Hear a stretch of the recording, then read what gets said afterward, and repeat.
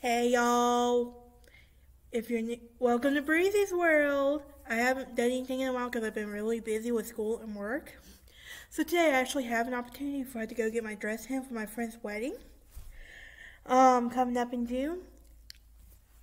Um, anyway, so guys, I officially walk in. Let me see what my timer says. Yes, I have a timer for counting down all the stuff.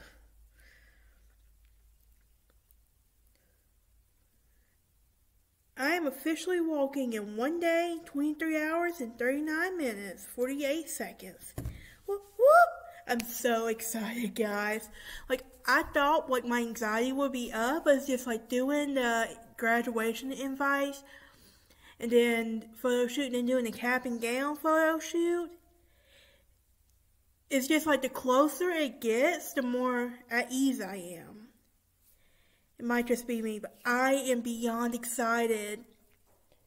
So as of right now, what can my tips be? Um, if you're approaching graduation, it's it's okay to be anxious, guys. Trust me. I really don't think it's hit me yet that I am graduating. So walking, well, walk, really walking across that stage. Um, I think it will hit me like when I'm walking across the stage and getting my diploma. I'm trying not to cry. so, but I just say it's okay to be nervous. It's okay to worry if you're gonna fall or if you're gonna go, trip going across the stage. I constantly think I'm gonna do that all the time, which is happening part of the reason I got flats instead. There's a bird trying to get in the window. It's common. I'm at my church right now because I want to try to get some work done before I had to go get some, get my dress done. But I am excited, guys, because in a couple of weeks I'm going to the beach. Trust me. So I was trying to decide, like, what I wanted to do for my grad trip, graduation, like, how I want to celebrate. I did a dinner back in December with some friends. However, I knew I didn't want to party. I knew my anxiety really could not handle having a part a party about myself.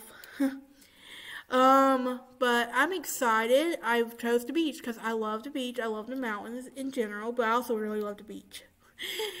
but I just throw some R and R sometime to get sunburned because I am a redhead. So we have that to worry about, but I'm okay with that.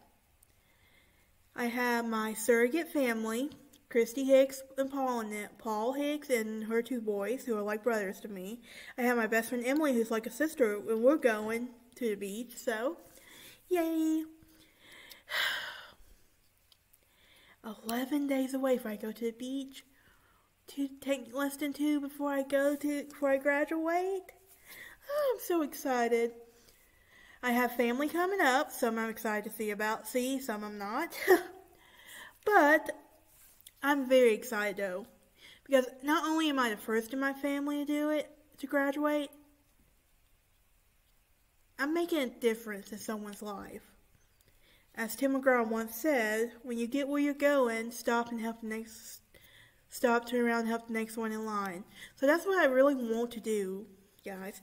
One day I'm going to create, I really want to create a nonprofit one day, so for like first gen students who having to go through this alone.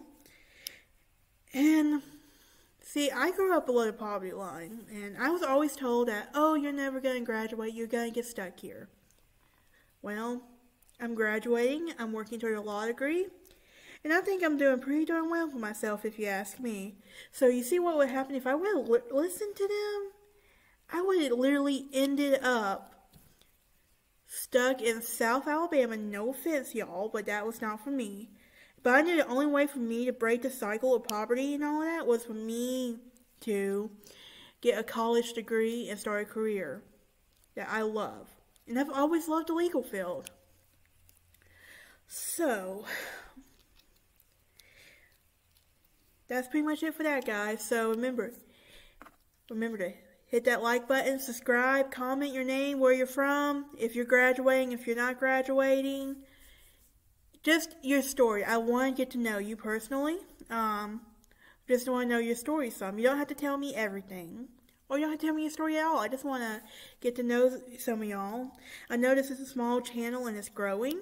So one day I hope that I can be with the reason students, first gen students don't feel alone in the progress process because I know how it feels. Even though Wallace did have really great people, I just don't think I really connected like that. Um, but at my time at Wallace, though, I did make a lot of amazing friends. Met some amazing teachers who will forever be a part of my life. Um, some of them, I still talk to a lot of them today. Um, so this is what I like to say. I'm thankful every year for the strangers that become friends and the friends that become families. Because sometimes it just takes a friend. And I want to be the inspiration for someone one day. I want them to know that they can look up to me, they can come to me with problems. And one day, I want to give back the way I was helped. I want to give back, guys. I love charity, I love volunteering and all of that. But I just think it's fine, something special when you get to mentor somebody who knows what you're going through and who can help you in this process. Alright guys, that's it for today. Remember, hit that like button, subscribe, comment, and ring that bell for notifications. Breezy's out.